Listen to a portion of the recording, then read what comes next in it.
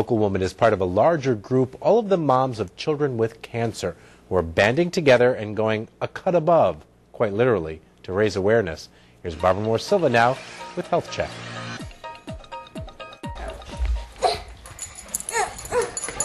If you could just bottle up the energy of Grace Carey, you wouldn't need caffeine. She's an on the go eight year old, a far cry from where she was nearly three years ago.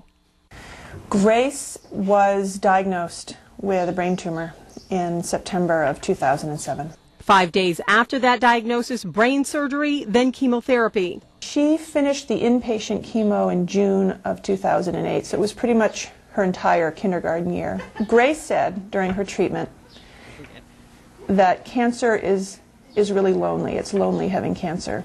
That stuck with Becca, the loneliness. So when she heard about a group of moms of children with cancer banding together, she jumped on board. There's a huge need for advocacy in the world of childhood ca- cancer. This group calls itself 46 Mommas. They hail from all over the country, coming together via the internet.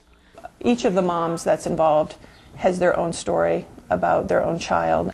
And there's a reason why they call themselves 46 Mommas. Every day, 46 children are diagnosed with cancer. And as a group, they plan on doing something rather bold shave their heads. We're attempting to raise awareness. That's our primary goal.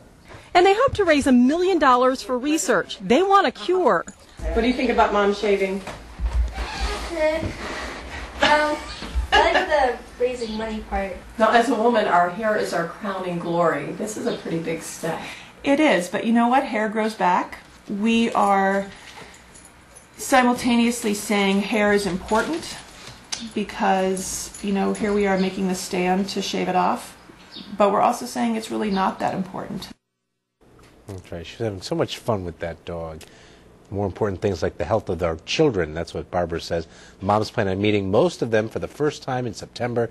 That's Childhood Cancer Awareness Month.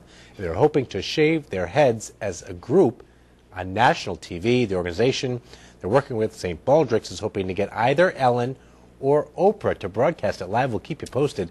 If you're interested in learning more, helping out, log on to turnto10.com, keyword health. Well,